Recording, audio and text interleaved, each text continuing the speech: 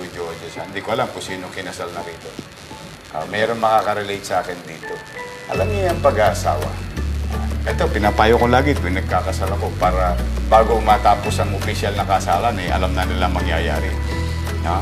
Sabi ko, yung pag-aasawa, sa simula lang yan mahirap. Abay, may nagre-react agad. Oo, oh, maraming adjustment. maraming adjustment. Oo, oh, syempre, di ba? Habang tumatagal yan, pahirap ng pahirap yan. oh, ayan, May ayan, nagre-react, ayan. Ayan, oh, may nanonood, oh. Oo nga. Ayan, oh, yung aking ex-girlfriend. Oh, ayan. Nanonood, alam niyo bakit nandito yan? Oh, may pa-plug. Oo nga. Alam mo nga yan. Anyway, ah, congratulations. Ah, sige, teka lang. Oh, bago yan. Ako ay nananawagan oh, sa lahat ng mga taga Lasal Subel. Nakakatawa. Itong ex-girlfriend ko, eh, taga Lasal Subel to eh. Oh. Ah, panawagan oh, ah, sa Lasal Subel. Oh. Ah, proud Subelista. Oh, December 14. Ah, ah, 6 p.m. De La Salle, Santiago Subel School. Oh. Ha? Kayo ay inaanyayan sa alumni homecoming. Tama? So, lahat ng mga... Anong batch to? Batch 94 ang host. Batch 94 ka? Matanda ako sa'yo. Batch 92 kami. Kami ay ah, taga-Ateneo. Ateneo, Titondo. Ayan, si Noel Rolyon. Oh. Kaklase ko. Matalino yan. Oh. Magaling sa math yan. Oh, si Junior Ibay. Oh. Oh, marami, marami naging professional. Alam niyo ba, meron pa kaming lawyer. Oh, ito talaga literal taga Ateneo, lawyer.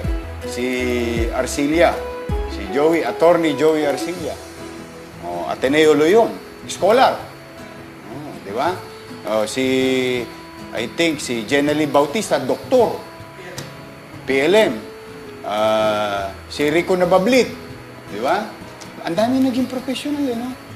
Sobra. Alam niyo, hindi naman no, sa, ano, no? Kami public school. Marami ho sa amin nasa abroad. Oh, di ba? Marami, marami talaga sa amin. Si Lenny Almeida, o ang dami.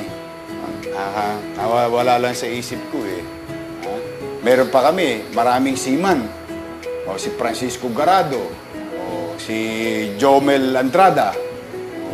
Meron kami teacher, si Tulok, ay si hindi, hindi Tulok.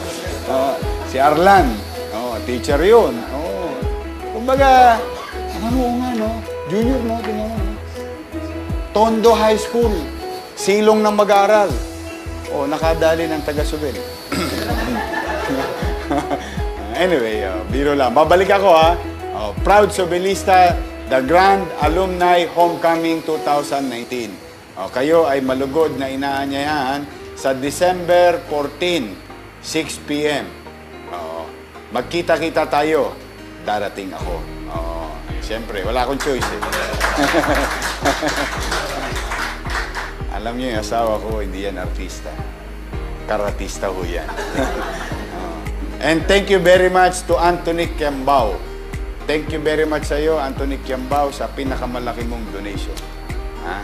Para sa ating ah, alumni homecoming. Ay, hindi pala. Ba't nakikiatin ako? Hindi naman ako taga Lasal. Oh. Ah, ayan, ha? para sa mga taga Subel at sa mga teachers, no? Ah, retired teachers. ah. Ayan po. So, ulitin ko, no? Proud Subelista, December 14, 6 p.m. De La Salle, Santiago Subel School in Ayala, Alabang. ah, sa loob, no? At again, thank you to Anthony Kiambao sa inyong ah, donation. Ah, kita-kita tayo. Ah, sige. Okay. Tapos na ang utang ko.